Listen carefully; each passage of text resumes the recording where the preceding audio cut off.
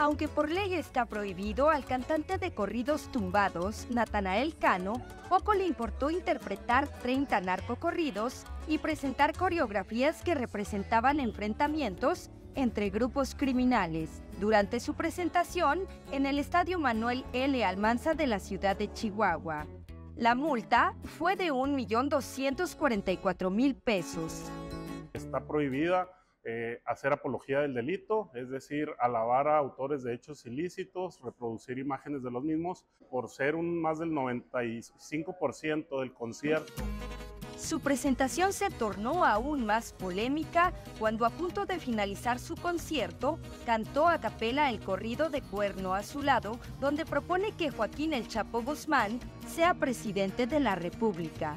Y sus músicos se negaron a tocarla.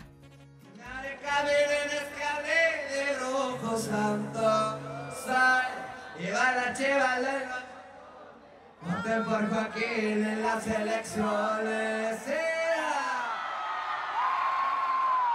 Natanael estaba dale dale y quería cantar cuerno a su lado. Nadie quiso de los instrumentales, nadie quiso tocarla. Todos estaban protegiéndose a sí mismos con su propio instrumento. Él se la aventó, pero lo que sí noté es que salió luego luego corriendo, no se despidió ni nada.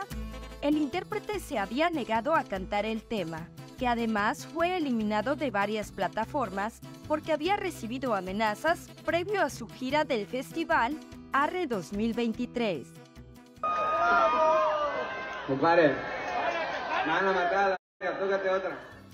Natanael no ha querido declarar sobre la amenaza.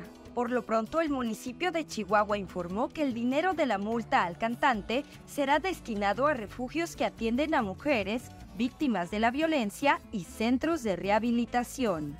Desde Chihuahua para Azucena a las 10, Norma Ponce.